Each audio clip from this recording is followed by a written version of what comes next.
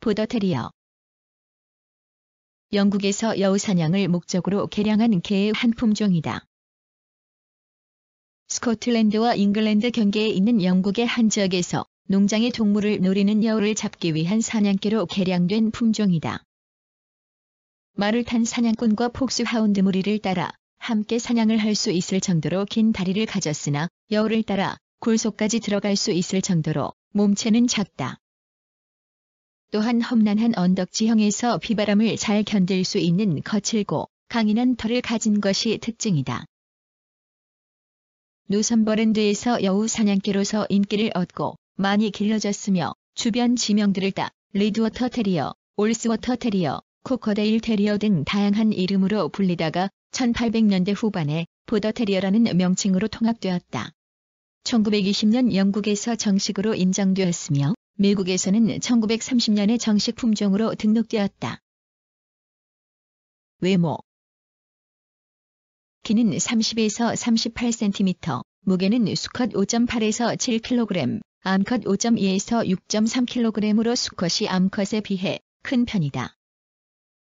목은 길고 근육질의 깊고 좁은 몸체를 가지고 있다. 눈은 녹갈색 내지는 젓갈색이며 작은 V자형의 어두운색 귀는 볼 쪽으로 젖어 있다. 수달과 닮은 머리 모양을 가지며 주둥이는 짧고 약간 짧은 수염이 있으며 코는 검다. 짧고 빽빽한 속털과 뻣뻣하고 거친 겉털로 이루어진 이중 모이며 색상은 푸른빛의 회색, 암갈색, 붉은색, 밀색 등의 몸체에 황갈색 얼룩이 있다. 성격 및 관리 이중모를 가지고 있어 털빠짐이 있는 편이고 봄과 가을에 털갈이를 한다.